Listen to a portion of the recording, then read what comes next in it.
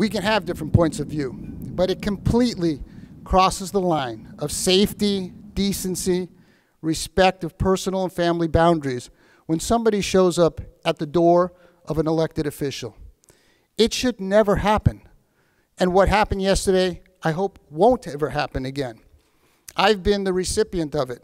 It's very disconcerting when somebody shows up your door, up at your door, unannounced, and starts banging on it. I encourage people who feel very strongly about things, who have grievances with city hall or state government or federal government, you use what means you have, which is this place, the public square, to express your concerns, to express your disagreements.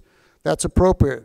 That's what it should happen. It should happen here. It should happen in the public square.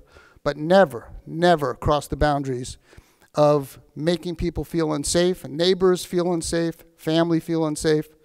So I hope that doesn't happen again. And I'm uh, very clear that what happened yesterday was a violation of people's family boundaries and personal boundaries. If people like uh, Ben Bergquam or the 300 people uh, support, you know, my belief that people should be free to go back to work, I welcome that. When they do things like they did yesterday, that is completely unacceptable and I denounce it.